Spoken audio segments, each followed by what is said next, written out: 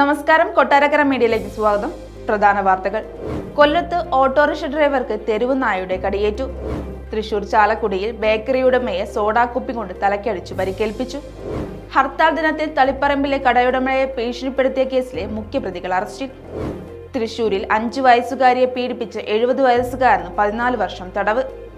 കണ്ണൂരിൽ ട്രെയിനിൽ നിന്ന് പിടികൂടിയത് രണ്ട് കോടിയുടെ M D M A. Thrissur ജില്ലയിൽ മോട്ടോർ വാഹന വകുപ്പ് നടത്തിയ വ്യാപക പരിശോധനയിൽ നൂറ്റി അറുപത്തഞ്ച് ബസ്സുകൾക്കെതിരെ നടപടി.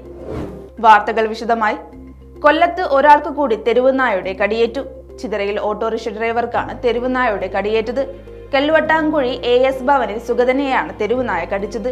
രാവിലെ ആറ് മുപ്പതോടെ പത്രമെടുക്കാൻ റോഡിലിറങ്ങിയപ്പോഴാണ് സുഗതന് തെരുവുനായുടെ കടിയേറ്റത്. തൃശൂർ ചാലക്കുടിയിൽ ബേക്കറി ഉടമയെ സോഡാക്കുപ്പി കൊണ്ട് തലക്കടിച്ച് പരിക്കേൽപ്പിച്ചു. സൗത്ത് ജംഗ്ഷനിൽ കുര്യൻസ് ജോസ് മോനെയാണ് ആക്രമിച്ചത്. സംഭവത്തിൽ തമിഴ്നാട് സ്വദേശി കൃഷ്ണമൂർത്തി പിടിയിലായി. ഹർത്താൽ ദിനത്തിൽ കണ്ണൂർ തളിപ്പറമ്പിലെ കടയുടമയെ ഭീഷണിപ്പെടുത്തിയ കേസിൽ മുഖ്യപ്രതികൾ അറസ്റ്റിൽ.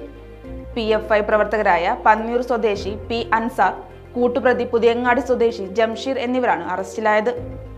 തൃശൂർ അഞ്ചു വയസ്സുകാരിയെ പീഡിപ്പിച്ച എഴുപത് വയസ്സുകാരന് പതിനാല് വർഷം തടവും ഒരു ലക്ഷം രൂപ പിഴയും.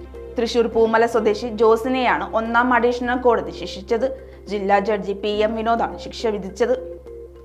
കണ്ണൂരിൽ വൻ ലഹരി മരുന്ന് വേട്ട. കണ്ണൂർ റെയിൽവേ സ്റ്റേഷനിൽ നിന്ന് രണ്ടു കോടി ലഹരി മരുന്ന് പിടികൂടി. ബാംഗ്ലൂരിൽ നിന്ന് എത്തിയ ട്രെയിനിൽ കടത്താൻ ശ്രമിച്ച എം ഡി എം എയാണ് പിടികൂടിയത്. സംഭവത്തെ തുടർന്ന് പ്രതി ഓടി രക്ഷപ്പെട്ടു. തൃശൂർ ജില്ലയിൽ മോട്ടോർ വാഹന വകുപ്പ് നടത്തിയ വ്യാപക പരിശോധനയിൽ നൂറ്റി അറുപത്തഞ്ച് ബസ്സുകൾക്കെതിരെ നടപടി.